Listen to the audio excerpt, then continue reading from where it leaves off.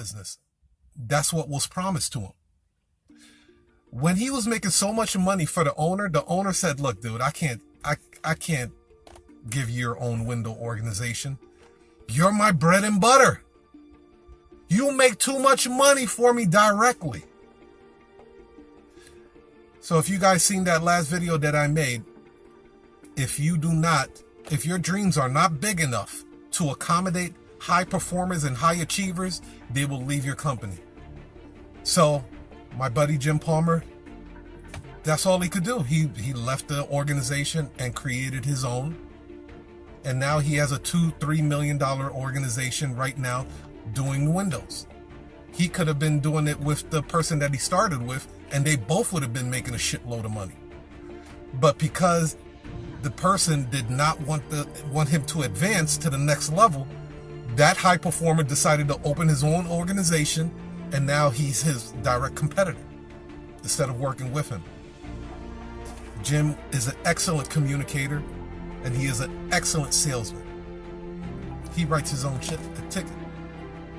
So I hope this helps out to you guys, ladies and gentlemen. If you guys have not gone to Vector University, register for my free complimentary workshop. Tip number two will guaranteed, and it's so overlooked, people don't use it. Tip number two will increase your sales. Go to Vector University. Um, and Vector Sales Academy if you guys want to register for our online course. We're teaching copywriting, we're teaching communication, marketing, sales. We're giving you what you need that the schools do not teach you. This universities, there's only 100 universities that are teaching sales and communication out of 4,000 in the United States.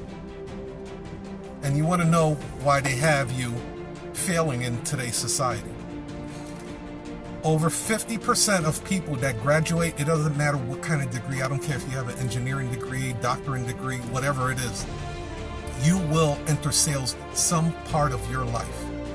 It is documented. 50% of graduates will go into sales some part of their life. But only 100 universities out of 4,000 teach sales. This was done by Harvard Business Review. You guys could look it up yourself.